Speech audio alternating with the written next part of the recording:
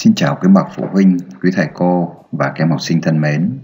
Trong video hôm nay chúng ta tìm hiểu bài số 51 ước lượng thương trong phép chia và bài tập môn toán lớp 4 bộ sách chân trời sáng tạo. Rồi, bây giờ các em hãy mở sách của chúng mình ra trang số 29 nào. Chúng ta đến cái phần lý thuyết nào người ta yêu cầu là viết vào cái chỗ chấm này chúng ta thực hiện cái ví dụ số số 1 nhé ước lượng thương của phép chia 273 chia cho 90 Đấy, như vậy chúng ta không đặt ra phép tính mà chúng ta sẽ là gì? Mang tính chất là ước lượng này. Vậy thì cái cách để chúng ta làm này, lưu ý này. Làm tròn số 273 đến hàng chục như vậy các em đã học làm tròn rồi, đúng không? Làm tròn đến hàng chục thì chúng ta xét hàng đơn vị này. Đúng nào? 273 mà đến hàng chục thì sau sau số 7 là số 3. Như vậy chúng ta sẽ làm tròn xuống thì sẽ được là bao nhiêu? 270. Vậy thì mình sẽ có 270 chia cho 90. 270 chia cho 90 thì chúng ta sẽ bớt đi bớt đi gì? Một số 0 ở số bị chia và một số 0 ở số số chia. Như vậy ta sẽ còn là 27 chia cho 9 được chưa? 27 chia 9 thì bằng bằng 3 Đấy. như vậy thì thương của phép chia 273 chia cho 90 sẽ là bao nhiêu? Là 3 được chưa nào? Đó, vậy thì đây là ví dụ số 1 nhé cách để chúng ta ước lượng. Được chưa các em? Ví dụ số 2 nào. Ước lượng thương của 98 này chia cho 24 này. Như vậy người ta cũng hướng dẫn này, làm tròn số 98 và 24 đến hàng chục. Như vậy 98 mà làm tròn đến hàng chục này thì sau số 9 là số 8, 8 lớn hơn 5 nên các em làm tròn lên. 98 làm tròn đến hàng chục thì chúng mình được là 1, 100. 24 làm tròn đến hàng chục thì chúng ta chỉ được là bao nhiêu? 2, 20. Như vậy ta có phép tính là 100 chia cho 20. 100 chia 20 thì chia cho số tận cùng là 0 này. Đấy, thì sẽ là gì? 10 chia 2. Vậy thì 10 chia cho 2 là mấy? Là 5. Để thực hiện cái này thì nhớ chúng mình phải có một cái bước thử. Thử với thương là 5. Thì các em sẽ lấy cái gì? 24 này là số chia. Các em nhân lên cho 5 24 nhân 5 là được 120 như vậy các em thấy 120 này này nó lớn hơn số bị chia là 98 nên 5 nó sẽ không là không là thương được đúng không nào? Đấy, không là thương của của cái phép chia này được nhá. Vậy thì bây giờ chúng ta lại giảm xuống là 4 đi. Thì mình cũng lại lấy số chia là 24 này nhân cho 4 thì bằng 96 như vậy 96 chúng ta thấy nó nhỏ hơn 98 vậy thì thương của phép chia này sẽ là gì? Là 4 đấy, như vậy chúng ta ước lượng. Nhớ nha, cách để mình ước ước lượng nhé rồi, sang ví dụ số 3 ước lượng thương của phép chia 144 chia cho 35 chúng ta cũng làm tròn số 144 và 35 đến hàng chục này như vậy 144 các em làm tròn đến hàng chục thì sẽ là 140. Và 35 làm tròn đến hàng chục thì sẽ là 4, 40. Vậy thì phép tính bây giờ sẽ là 140 này, các em chia cho 4, 40. Đúng không? Đúng chưa nhỉ? Đây, vậy thì mình sẽ xóa đi một số 0. Ok. Bài toán trở thành là 14 chia 4 các em nhẩm 14 chia cho 4 thì được mấy? Được 4 không? Không được, chỉ được 3 thôi. 3 x 4 là 12, 14 trừ đi 12 thì chúng ta sẽ còn dư dư 2. Rồi vậy giờ chúng ta thử với thương là mấy? Thương là 3 nhé. Với thương là 3 thì chúng ta lấy này 35 nhân với 3 35 kem nhân với 3 thì bằng bao nhiêu? 3 x 5 15 viết 5 nhớ nhớ 1 3 x 3 là 9 thêm 1 là mấy? Là 10 như vậy, thử với thương là 3 thì chúng ta sẽ được 105 thì các em sẽ lấy này 105 các em so sánh với với cái gì? Với gì đây? Với 144 được chưa? Đấy các em so sánh nó với 144 này. Thì các em sẽ thấy bao nhiêu? 105 này làm sao? Nhỏ hơn, đúng không? Nhỏ hơn 144 mình nhận không? À như vậy chúng ta thấy 105 nhỏ hơn 144 vậy thì chúng ta lấy là 3 được không? Được. Bây giờ mình lại thử với thương. Mình lại tăng lên đi với thương là 4 đi. Xem được không? Thì chúng ta sẽ lấy là bao nhiêu? 35 là số chia. Các em nhân lên cho 4 xem nào. Như vậy thì 35 nhân 4 4 nhân 5 bằng 20 viết không nhớ nhớ 2 4 nhân 3 12 12 thêm 2 là 10 14 đó. Như vậy thì mình thấy này. Với thương là 4 á, thì nó sẽ là 140 140 so với 140 14 á, thì có phải 140 cũng nhỏ hơn 144 không? Đúng chưa nào? Vậy thì hai cái số này này hai cái số này này thì chúng ta sẽ thấy cái số nào nó gần hơn nhỉ? Gần hơn nhỉ? À chúng ta sẽ thấy cái số thương là 4 này này nó gần hơn. Đúng không? Đó, như vậy thì đây là những cái cách để chúng ta ước lượng thương của một phép phép chia. Các em hiểu chưa? Nhưng mà nhiều em sẽ thắc mắc cái chỗ này này tại sao ở đây chúng ta không lấy nó là 3 mà lại lấy là 4 thì chúng mình sẽ thấy là cái 144 với lại 105 này này thì chúng ta sẽ thấy cái khoảng cách của nó này 144 các em trừ đi 105 á, thì chúng ta sẽ thấy là nó sẽ bằng bao nhiêu? 14 trừ đi 5 thì là mấy? 9 đúng không? 14 trừ đi 5 bằng 9 này. Vậy thì 13 trừ 10 nó sẽ còn là 3 Đấy, như vậy thì khoảng cách này tới 39 này. Rồi còn cái anh này này thì chúng ta sẽ thấy này 144 là kem trừ đi 140 này. Như vậy thì anh này nó chỉ có khoảng cách là mấy? 4 thôi. Đấy, do vậy chúng ta sẽ lấy nó là 4 chứ không lấy là 3 nhé. Hiểu chỗ này không? Rồi mình sang phần thực hành và luyện tập. Người ta yêu cầu là gì? Ước lượng thương rồi viết số vào chỗ chấm. Như vậy ở đây chúng ta có câu A này. Thực hiện cái phép chia 56 chia cho 23 Đấy, vậy thì 56 chia 23 thì 56 các em làm tròn lên hàng chục ạ, thì chúng ta sẽ được là 60 đúng không? 23 làm tròn hàng chục sẽ là được 2 20 60 mà chia 20 thì chúng ta sẽ được 3 30 được chưa? Rồi vậy thì bây giờ mình sẽ thử lại. 60 chia 20 thì chúng ta sẽ được là 3 chứ. Như vậy thử lại này. Các em lấy cái gì? Lấy 20 Đấy, các em nhân lên cho cho cái chúng ta vừa ước lượng á, là 3 á, thì 20 nhân cho 3 thì lại bằng bao nhiêu? 60 rồi. Như vậy 60 này các em so với so với thằng nào? So với cái số bị chia đây này là 56 này. Như vậy 60 này các em thấy nó lớn hơn 56 nên có nhận được không? Không nhận được. Vậy thì nó không nhận được thì chúng ta lại phải giảm thương đi. Đúng nào? Vậy thì bây giờ mình sẽ lấy thương là mấy? Là hai thôi. Chúng ta lại thử này. 20 nhân cho thương là hai thôi, đúng không?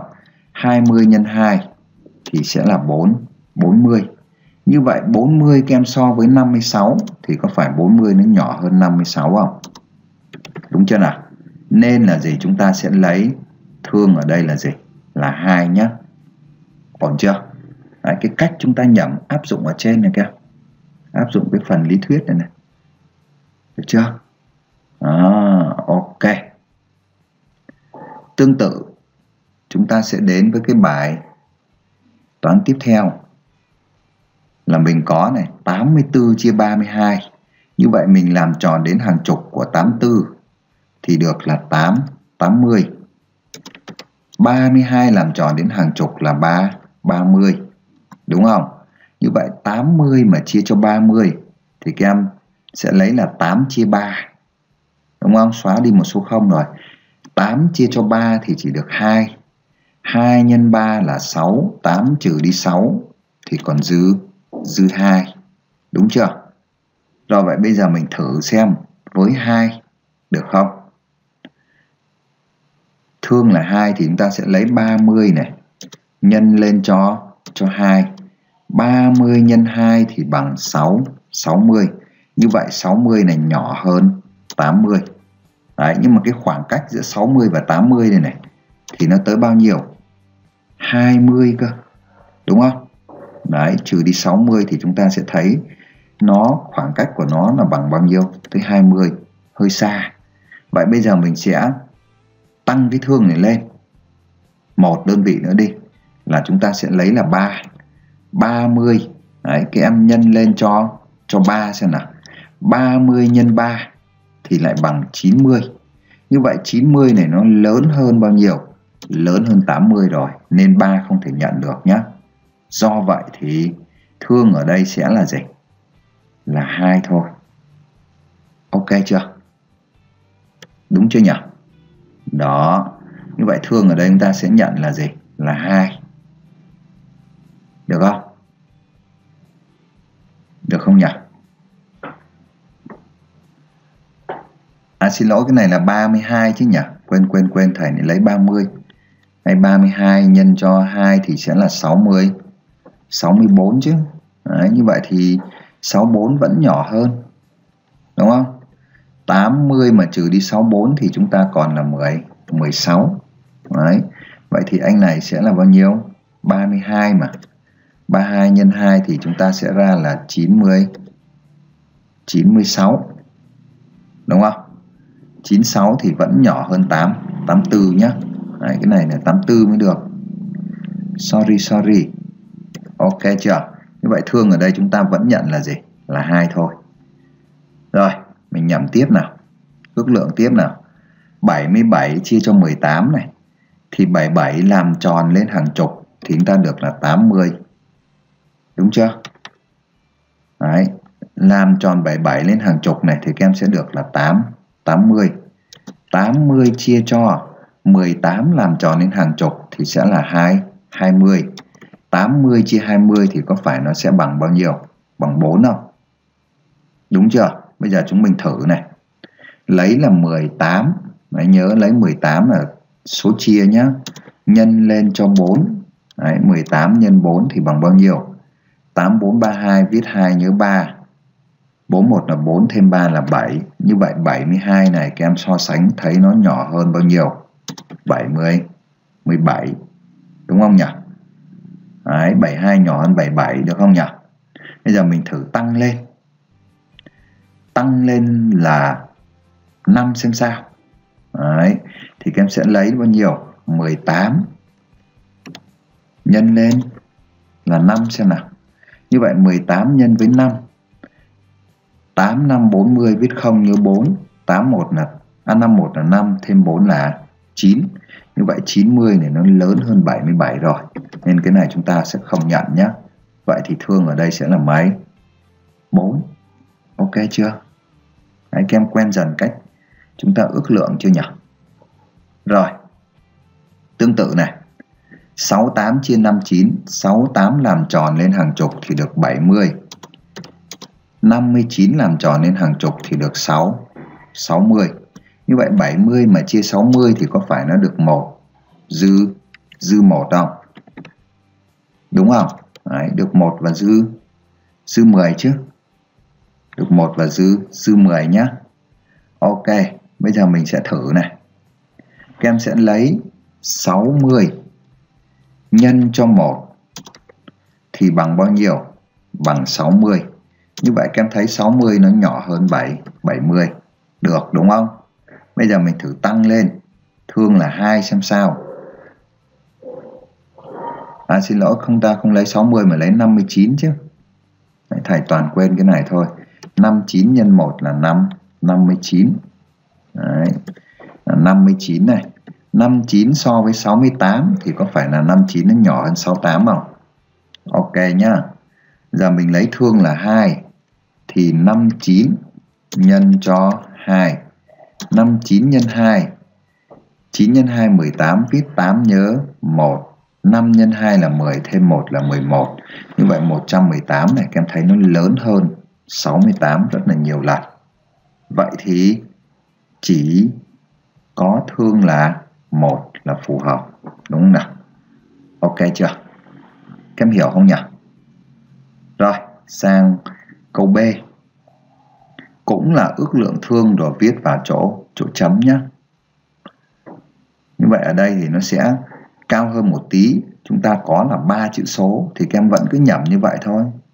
695 các em làm tròn đến hàng chục ạ, thì sẽ được là bao nhiêu? 95 này chúng ta làm tròn đến hàng chục sẽ là 7 700 700 thì 75 các em làm tròn đến hàng chục thì sẽ là 8 80 đúng không? 700 mà chia cho 80 thì nó sẽ là 70 chia 8 đó. Bỏ đi một số 0 này. 70 chia cho 8 thì được 8 thôi.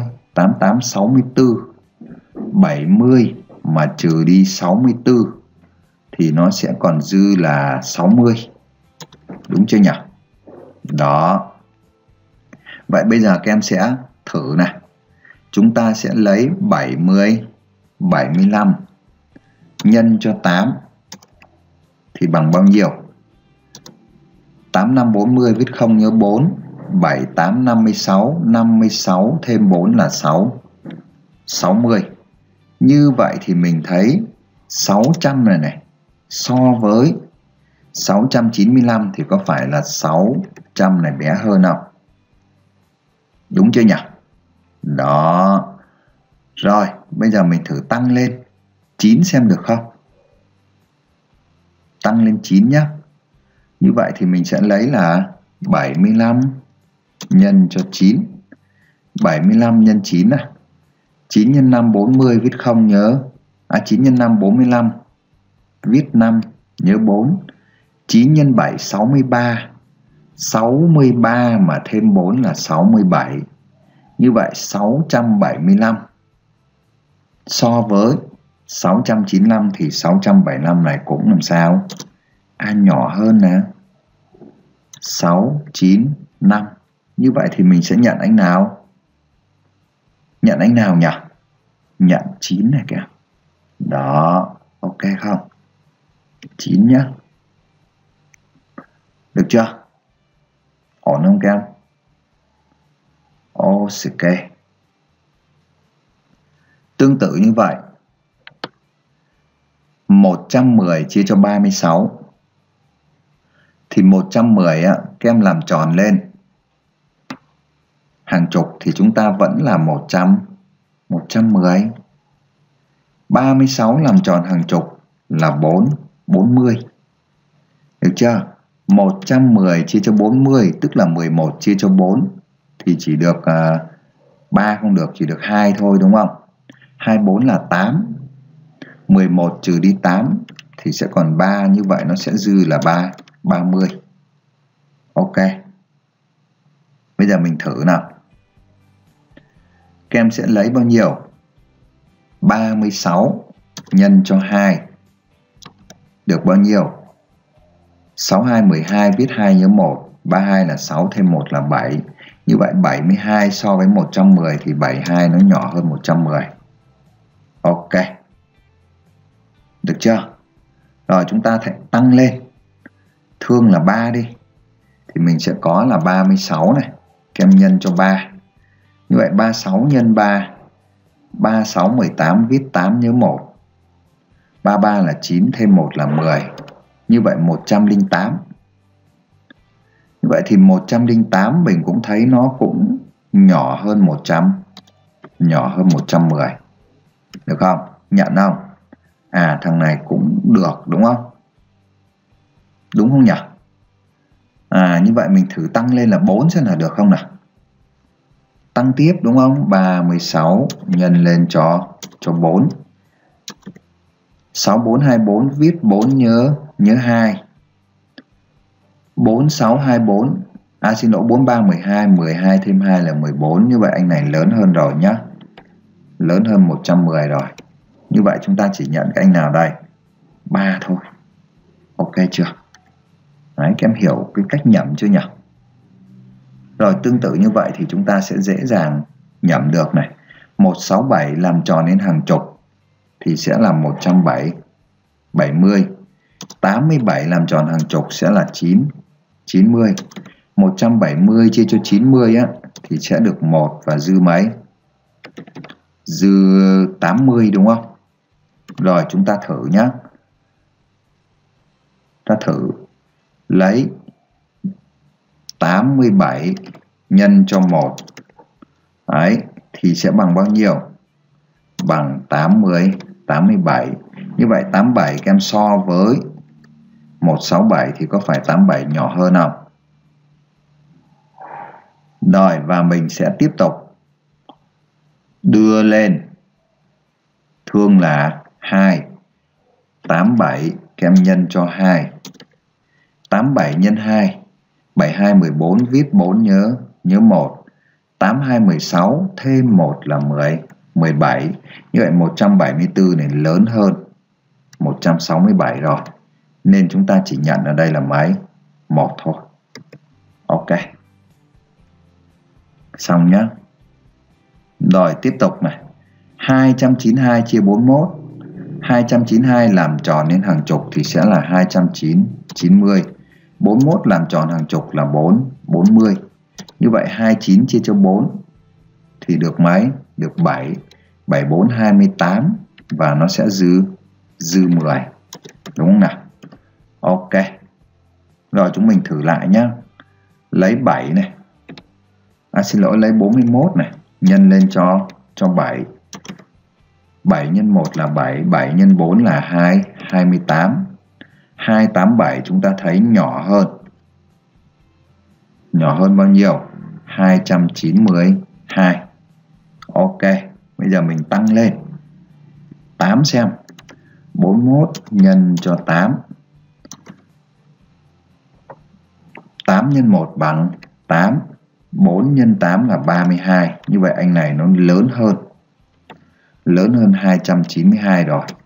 Đúng không nào? Như vậy đây chúng ta chỉ nhận mấy thôi? 7 thôi. Ok. Được chưa? Hãy xong cái bài thực hành số 1 nhé. bây giờ mình sẽ sang bài luyện tập 1 điền cái số nào một trường tiểu học cần thuê một số xe ô tô để chở hết 232 học sinh lớp 4 đi tham quan. Đó. 232 học sinh lớp 4. Nếu mỗi xe chở 45 học sinh thì trường tiểu học đó cần thuê ít nhất là bao nhiêu xe? Hãy chú ý người ta hỏi nha. Nếu mỗi một xe là 45 Đấy, vậy thì có phải là chúng ta sẽ phải ước lượng ra không? Nếu một xe là 45 á, thì các em sẽ lấy là 232 học sinh chia cho 40, 45. Đúng không? Vậy thì chúng ta có thể ước lượng. Ước lượng hoặc chúng ta đặt cái phép tính chia ra cho nó chính xác cũng được. Ở đây là ít nhất. À ít nhất nên là gì? Nên là mình phải đặt cái phép tính chia ra cho nó dễ nhá. Bởi vì nó sẽ có số dư các em. Đấy, sẽ có số dư ở đây nhá. Rồi, như vậy thì 232 mà chia 45 thì chúng ta sẽ thực hiện phép chia 23 chia cho 4 thì chắc là được à, uh, 5 5 năm 25 5 năm 25 12 trừ đi 5 thì còn mấy? Còn 7 Đúng không nhỉ? Đúng không? Như vậy thì chúng ta tiếp tục này. 5, 4, 20. 20 với 1 là 21. Vậy thì 23 mà trừ đi 21 thì còn mấy? 2 xem nào. Như vậy đây sẽ còn là trừ đi thì sẽ được là 27 đúng không? Wow, từ từ từ từ, cái gì đây? Cái gì đây? Từ từ từ từ. Từ từ nhá. À như vậy thì đây sẽ là mấy? 5 mà dư 27 vậy thì phải có là 5 xe và 27 em rồi này chúng ta phải thêm một xe nữa. Như vậy thì phải lấy là mấy? 6 xe nha. 6 xe đúng không? Rồi trong trường hợp là nếu mỗi xe chở được 26 học sinh thì trường này cần ít nhất là bao nhiêu xe? Đấy, vậy thì chúng ta chú ý này. Nếu mỗi một cái xe là chở 26 học sinh 26 học sinh. Thì chúng ta có ở đây là bao nhiêu? 232 Đấy, các em lại phải nhẩm ra. 232 chia cho 45 Đúng không? Thì đây mình đã chia con số chính xác này, Hoặc là các em nhẩm này. 232 chia cho 45 45 làm tròn lên. Hàng chục là 50 232 làm tròn hàng chục là 230 30. Như vậy các em nhẩm ở đây sẽ được là 23 chia cho 5 Như vậy thì 23 chia cho 5 thì được uh, 6 6 năm 30 không được 5 không được chỉ được 4 Đúng không? Được 4 Được 4 nhưng mà đây sẽ dư mấy? 4 năm 20 5 năm 25 từ từ 232 đúng rồi Vậy được 4 này 4 năm 20 Như vậy là dư tới 30 nhé Dư 30 Đấy, dư 30.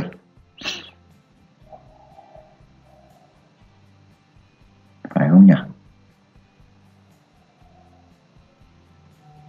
200.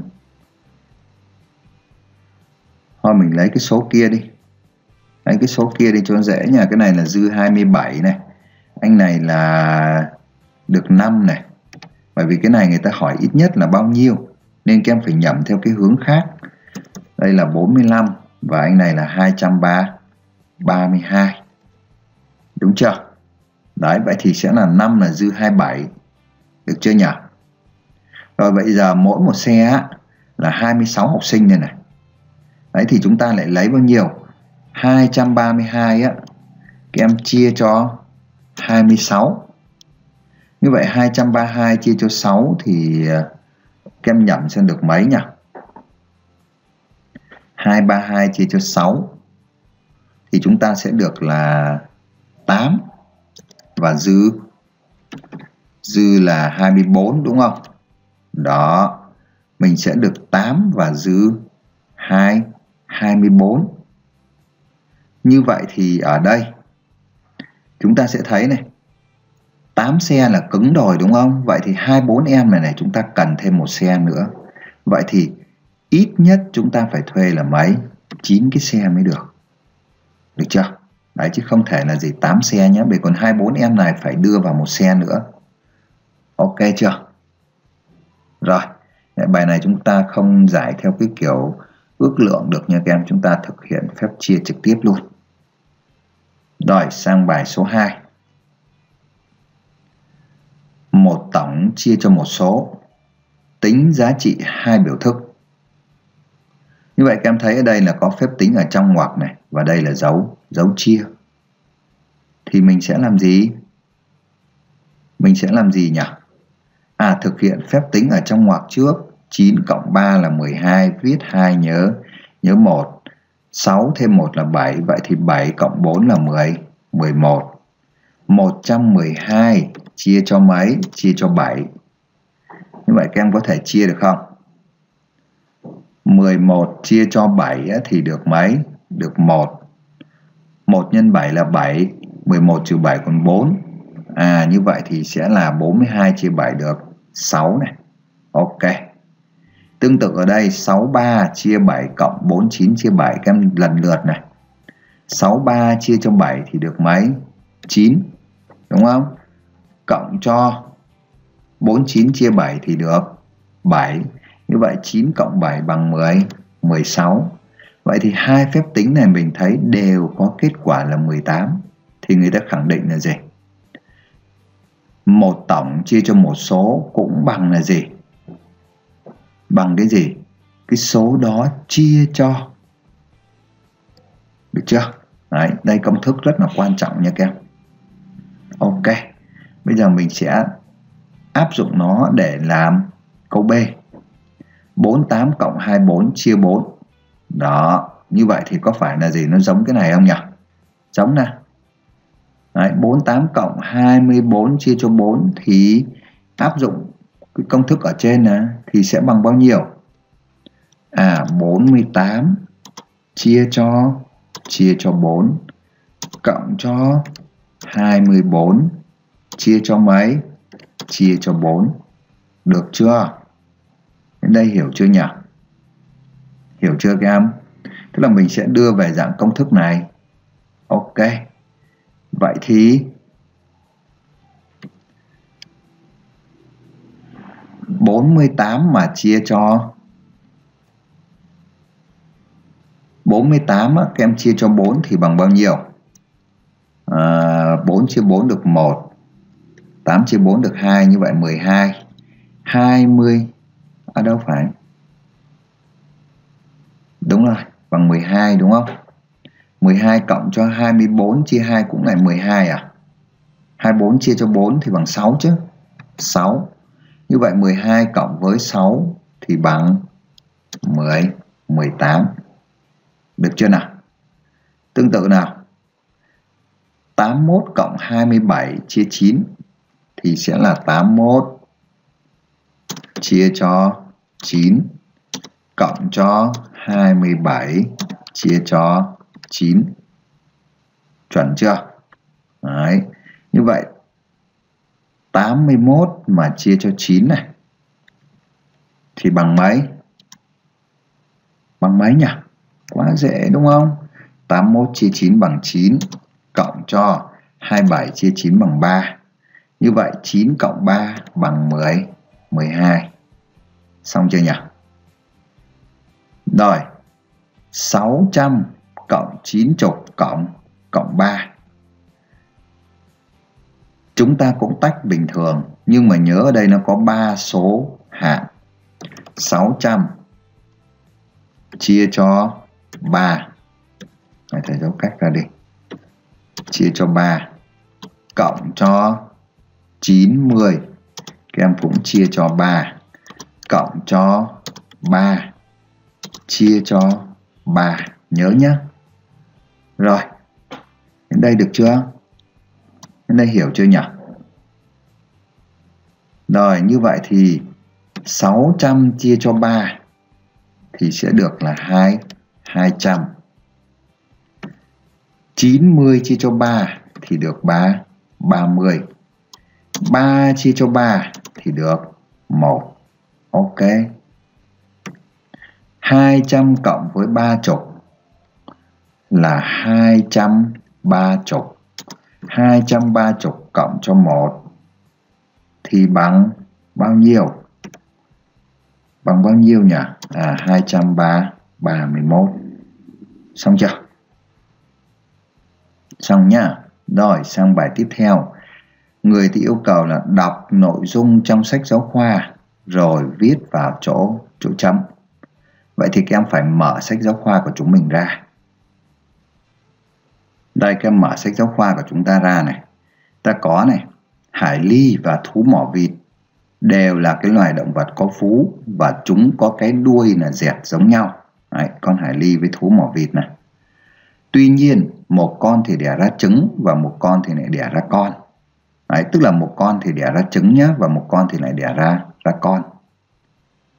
Để tìm hiểu thì em hãy ước lượng các thương dưới đây. Nếu này nếu cái thương á, là 7 á được chưa? Thì sẽ đẻ ra gì? Thì sẽ đẻ ra trứng. Và nếu thương là 8 á, thì sẽ đẻ ra con. Được chưa? Nếu là 7 thì có con vật sẽ đẻ ra trứng. Và nếu là 8 này thì con vật này nó sẽ đẻ ra là đẻ ra con. Vậy thì nhiệm vụ của chúng mình là gì? Ước lượng cái này. Đúng không? 532 mà chia cho 65 á, thì chúng ta làm tròn 532 đến hàng chục thì sẽ được là 530. Đúng không? Thầy sẽ cho nó nhỏ lại nhé. To quá. Rồi như vậy anh này làm tròn đến hàng chục thì sẽ là 530 đúng không? Wow, cái gì đấy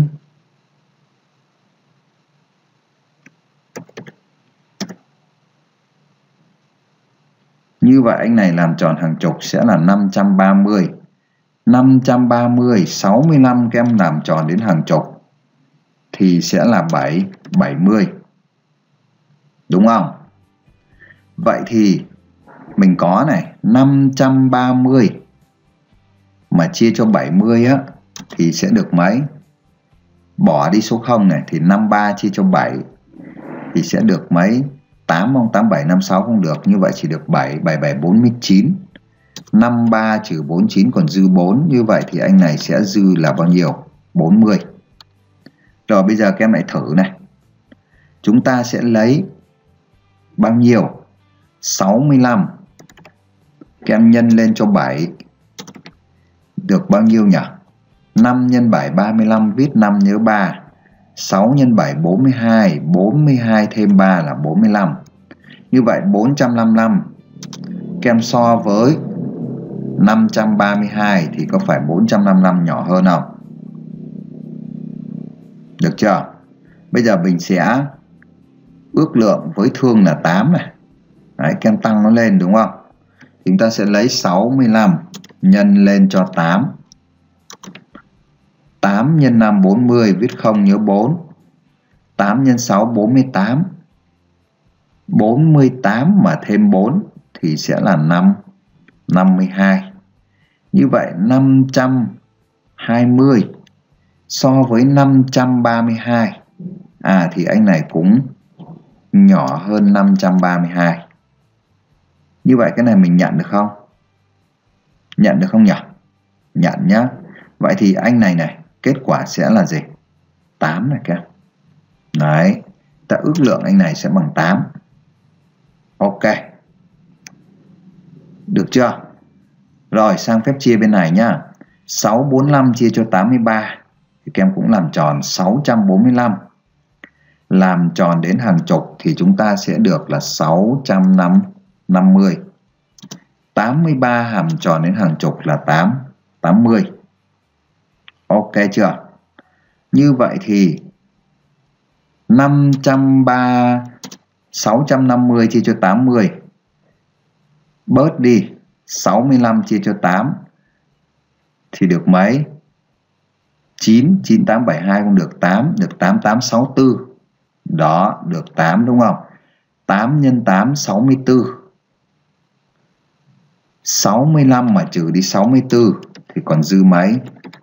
Dư 10 đúng không nhỉ? Đó, như vậy anh này là dư dư 10 nhá. Bây giờ mình lại thử này. Đấy, các em thử thôi. Chúng ta lấy thương là 8.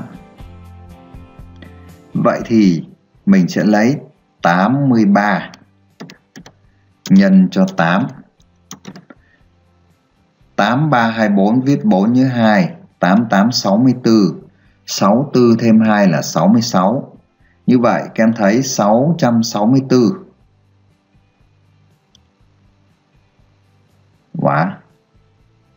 Đúng rồi. 8864 664 nó lại lớn hơn à? Sao lại lớn hơn 645 luôn nhỉ? Uhm.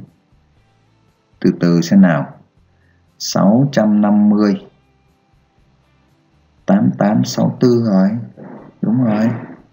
Như vậy thì mình lại phải giảm xuống. Anh này chỉ lấy được 7 thôi này các 8 không được đúng không? Lớn hơn rồi thì buộc các em phải giảm xuống là 7 này. 7 đúng không? Thì chúng ta sẽ lấy 83 nhân cho 7 Đấy, 83 nhân 7 thì bằng bao nhiêu? 7321 viết 1 nhớ 2 8756 thêm 2 là 5 58 như vậy 581 này này, nhỏ hơn 645 vậy thì kết quả của phép tính này này, thương sẽ là mấy? Thương sẽ là 7 nhá. Ok chưa? Rồi 532 chia 65 chúng ta ước lượng là bao nhiêu? Thương là mấy? 8 anh này là 8 này. Rồi, còn anh này mình là 7 này ok không? Vậy thì quan sát vào đây. 7 thì đẻ ra trứng. Còn 8 thì đẻ ra con. Đấy, như vậy thì 7 đâu? 7 đâu? 7 là hải ly. Phải không? À không phải. Như vậy đẻ ra trứng chính là hải ly là 8 thì sẽ đẻ ra trứng và thú mỏ vịt. Kết quả là 7 thì sẽ đẻ ra con. Chuẩn chưa? Đấy, đây con hải ly và đây thú mỏ vịt này rồi và đến đây chúng mình đã hoàn thành được cái bài này nhé bài này khá là hay nha các em bởi vì nó sẽ giúp cho chúng ta có những cái kiến thức sau này khi học lên những cái lớp trên đó, để chúng mình ước lượng và làm tròn hẹn gặp lại các em ở bài tiếp theo. Bye bye.